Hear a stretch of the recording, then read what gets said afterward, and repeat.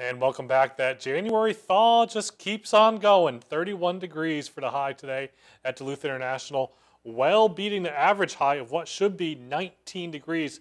Take a look at this, guys. This whole month of January, we've been above average. So this shows you just how much above average we were. So we started off January uh, on the 2nd, 11 degrees above average. Yesterday, we were 24 degrees above average. So the whole month, said and done, or excuse me, the whole month so far, we were 13.8 degrees above average. Just goes to show you how warm we have been.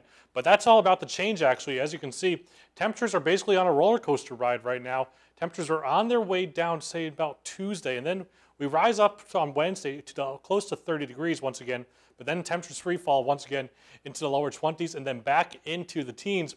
But right now in Duluth, we got 26 degrees, maybe with a little bit of rain, snow falling right now. Beginning to see it on radar, but it doesn't seem like it's all that much in a north-northwest wind blowing at 10 miles per hour. Temperatures elsewhere across the region, most of us are sitting in the lower 20s, but you can see out west, they're already beginning to dip down into the teens there. 19 in Big Fork, 18 in Baudette, 15 in Bemidji, 16 degrees in Walker. Then the rest of us are sitting in the low to mid 20s. 26 degrees on top of the hill right now, 28 in LaPointe, 26 National, 24 in Ironwood, and 25 degrees in Watersmeet. 30 degrees still down, still by the lake, 30 as well in Solon Springs. So warmer by the lake, that's for sure. Satellite radar is confirming what I was just talking about on the current conditions. Maybe a little bit of snow shower activity for the Twin Ports and then points west a little bit.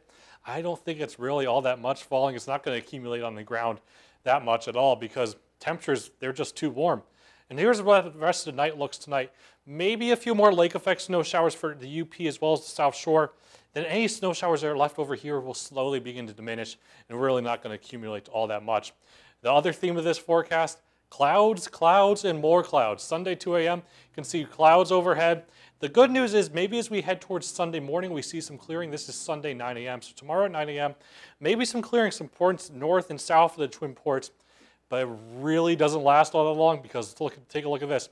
By 1, 2 o'clock, mostly cloudy skies prevail once again. Then those clouds basically stick around for a good portion of the week as we head into Monday and then into Tuesday. Maybe some gradual clearing as we head towards Wednesday, but clouds just prevail for this seven day forecast, that's for sure and really no big systems to speak about either. Temperatures tonight fall back into the teens for most of us, 17 in Duluth, 19 in Silver Bay, 14 in Ely, 11 in Hibbing, 13 in International Falls, 22 in Ashland, 20 in Ironwood, and 21 degrees in Mercer, a little bit warmer in the UP of Michigan as well as the South Shore with those clouds overhead for most of the night tonight. Forecast for tomorrow. Temperatures climb into the mid and upper 20s. 25 for us here in Duluth, 28 in Silver Bay, 26 degrees in Solon Springs. And here's how that seven day forecast looks. As you can see, it's kind of an uneventful seven day forecast. Maybe a little bit cooler, but that's only average. So, yeah. and then clouds. Can't complain about clouds and temperatures above zero. Yeah. Honestly, yeah. for winter in January here, keeping this warm stretch going sounds good to me. Mild January. I love it. All right. Thanks, Peter. Yep.